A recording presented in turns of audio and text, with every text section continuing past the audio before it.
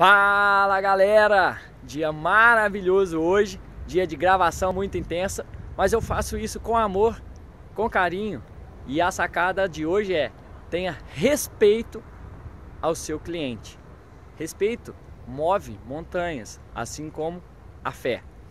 Então, eu quero te dizer o seguinte: se você quer ser um empreendedor, se você quer ter o seu negócio, Tenha respeito pelo seu cliente. Quantas empresas que pensam só em lucro, lucro, lucro, lucro? Sei muito bem que lucro é bom.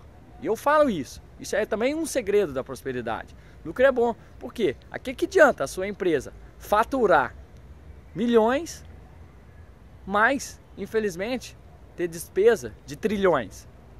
Cálculo. Inverte. Não é mesmo? Você tem que visar o lucro. Mas, principalmente, você tem que ter respeito ao seu cliente. Tudo hoje é negócio. A sua imagem é um negócio. O seu marketing pessoal é um negócio. O seu marketing pessoal, ele vai ser considerado o seu maior valor.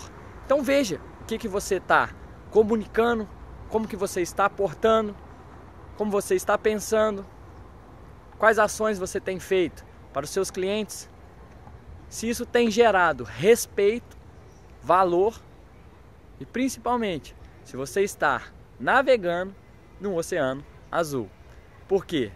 Antes de mais nada, lembre-se, viver vale a pena.